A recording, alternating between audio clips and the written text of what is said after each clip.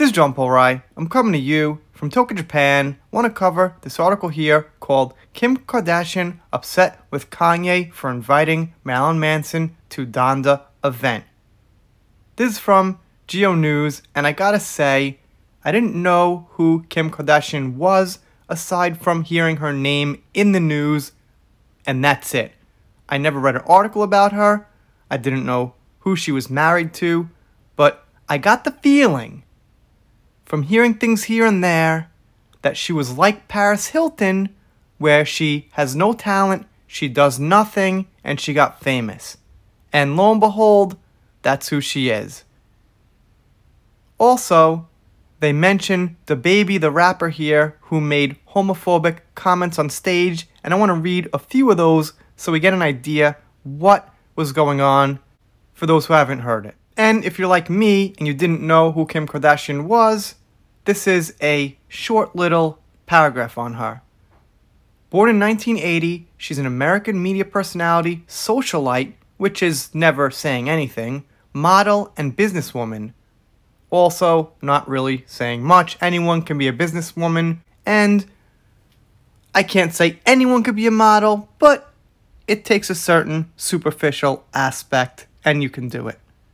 Kardashian first gained media attention as a friend and stylist of Paris Hilton, but received wider notice after 2002, excuse me, after a 2002 sex tape, Kim Kardashian, superstar with her then boyfriend Ray J, was released in 2007. So she was friends with Paris or, you know, her hairstylist, and then she made this sex tape, and that's how she got famous. Doesn't seem like she worked too hard. Doesn't seem like there's a whole lot she could do. Let's move on. Here is the comment DaBaby made at a concert. Ladies, if your P word smell like water, put your cell phone lighter up. Fellas, if you ain't sucking D in the parking lot, put your cell phone lighter up. So this is one of the things he said. I think there was a little bit more, but this seems like the worst of it. So if you don't know what DaBaby said, well, here you go. I've got no comment. Not really concerned one way or the other. So they go on to say, Kim Kardashian was fuming at former husband Kanye West for inviting Marilyn Manson and DaBaby to his Donda music party. The mother of four was said to have been distraught after Kanye involving Manson, who was accused of sexual assault, and DaBaby, who has been in trouble for his homophobic remarks. And the thing is, Marilyn Manson has simply been accused and nothing else. One of the cases has just been dropped because the accuser said she suppressed her memory, she couldn't remember anything, and that never works too well in court. An insider told E! News Kim, unaware of Manson's presence at the event prior to arriving, explained she would never participate in something if she knew Manson was a part of it. A second source told the outlet that Kim is equally upset about DaBaby, the insider insisted she truly had no idea about the extent of Kanye's plans. As for Kanye, the source added, he wanted to realize why he included them and appreciate the art form. Kanye wanted a reaction. He wants people talking about his album, and that was the approach he was taking, said the insider.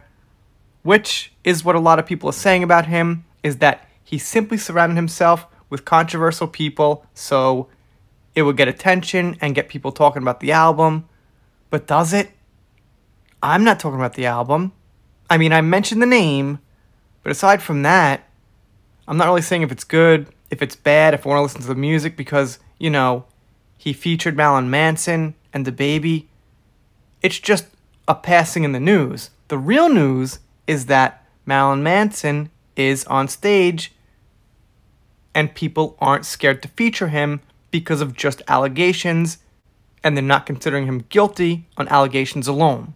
We gotta make sure that artists are actually guilty of what they're accused of before they get punished, before they get outed socially.